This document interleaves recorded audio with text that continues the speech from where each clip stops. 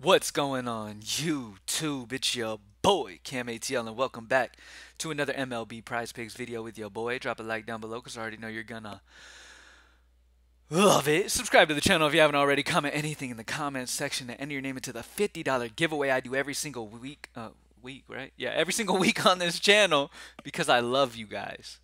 And once again, if nobody's told you they love you today, I love you. Welcome back, ladies and gentlemen. Let's get this money. PropsMadeEasy.com. Only $15 a month. You already know what it is. Let's get straight into it. So, first and foremost, I made the NBA video earlier, and as you will see, if you go look at the NBA tool, if you have access to PropsMadeEasy.com, if you go take a look at the NBA tool, you will see a bunch of four new prop types have been added. Uh, fantasy score, three pointers made, free throws made, and blocks and steals have been added to the NBA tool. Like I said, we're going to be adding and adding and adding, growing, growing, growing, giving y'all as much possible content as y'all can possibly have, and still utilizing data and making sure you're making the smart bets on each of these bets. Remember, y'all, because I, I, still have people come in after the fact all the time to tell me, oh, this didn't work, or this didn't happen, oh, you should have done this, you should have done that. After the fact commenters make zero sense. Okay? At the end of the day, you bet on the data and if it doesn't happen, then the player just had an out of the normal game. It's not that the data was wrong. The data is always on point. Okay? But sometimes players just have off games, and that's where it doesn't hit. You know what I mean? And at the end of the day, that's the part you can't control. The only thing you can control in sports betting, as I've always said, is the data that you utilize and how much effort you put into this shit. Props Made Easy takes all of that time that you would need to spend to be consistently successful and gives it to you straight up immediately in your face and lets you know the best spots based off the data. Now, all of those prop types that were added to NBA, there will also be prop types added to MLB. Um, we will be having, I will give you the prop types that we're adding. Let me pull up our messages that we've talked about. Obviously, you've got the first inning runs tool. Boom. You still got that there. Remember, the more green that you have on a column, the better the under. The more red that you have in a column, the better the over. Okay? All right, so with that being said, let's go back. Now, um, the prop types that we'll be adding.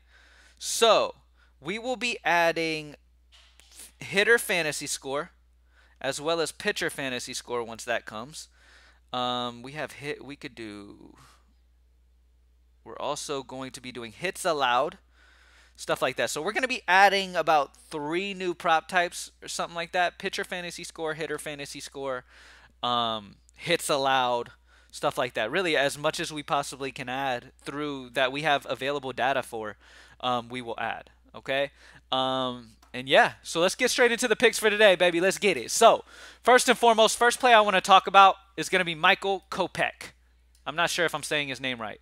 So our two plays today are going to be Michael Kopech and Aaron Nola over pitching strikeouts. So first off with Michael Kopech, he's going against Tampa Bay. This is a solid Tampa Bay squad, but facing righties, they're not near as good than facing lefties. Um, a lot of these bats in that Tampa Bay offense can hit lefties very, very well, but there's a lot of righties in this offense that are going to struggle a tad bit. I can see them struggling a little bit versus the right-handed pitcher of Kopech. Kopech's got a solid K rate, always has. Um, guys are able to put the bat on the ball though. That's the only issue. But he has a solid K rate. His prop line's only at 4.5. Vegas likes the over at minus 130. Our projection's 5.2. He has a 0.72 differential, which makes him a solid over call on his pitcher strikeouts today against Tampa Bay. Um, solid spot spot for Michael Kopech. Even though he's facing a solid Tampa Bay team, Tampa Bay has had a solid season so far.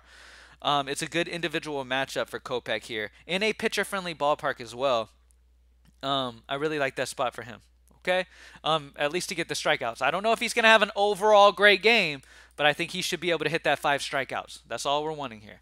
Aaron Nola over against Colorado. We all know when Colorado's at home, you don't really want to play against them. When Colorado's on the road, you want to play against them.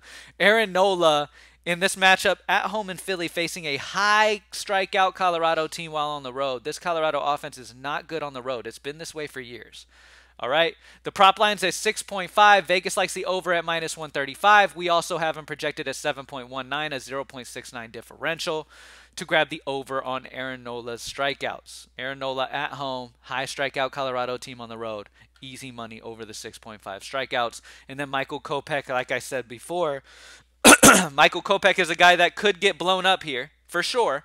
But I also have a higher odds of seeing him hit his pitcher strikeouts before that was to happen um, because of his K rate that he does possess. And he's going to face a Tampa Bay squad that's got a good bit of righties in this lineup. All right. Um, and that's going to, you know, work well for his K rate as well. All right.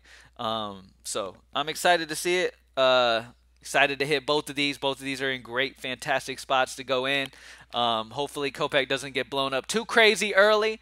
Then he might get pulled before he can hit it, but I, I see him hitting. Vegas likes the over as well as the data likes the over. So, same situation for Nola and Kopech, both fantastic options. All right, go get that money, y'all. Good luck. It's Flex Friday, so go get that extra money, baby. Put in those six pick flexes to have some fun. Sprinkle in those mixing and matching uh, pairings so that you you know have some backup if your six pick flex does not hit.